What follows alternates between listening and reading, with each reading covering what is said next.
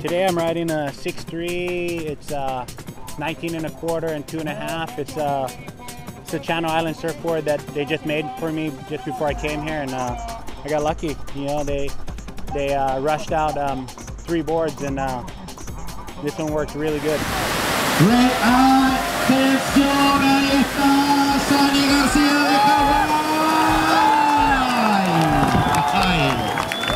Shaper is Al Merrick, and uh, the board is 6'3 by 19 and a quarter inches wide and uh, two and a half inches thick.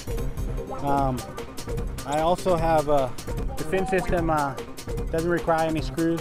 It just it has a spring. You push forward, push the fin down, and the spring pushes it back, and it locks in. So um, it's a really good system, really quick for changing, and you don't have to worry about any uh, screws.